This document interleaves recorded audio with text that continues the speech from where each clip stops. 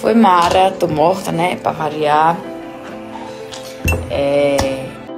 Vai ficar até 7 da manhã com a gente? Tô pensando, o que é que tu acha?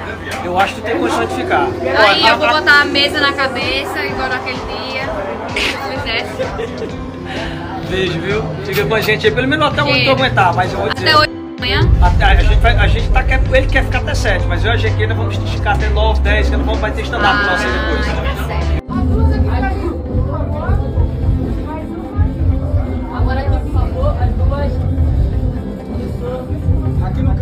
Vamos aqui junto.